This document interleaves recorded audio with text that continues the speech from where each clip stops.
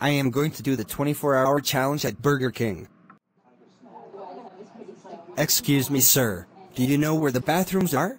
Right that way, but hurry because we're closing soon. Yes, now I can stay here as long as I want. Let's get some burgers. Oh no, the police are coming. Hey you, you shouldn't be in here right now, it's after hours. That's it, I'm arresting you.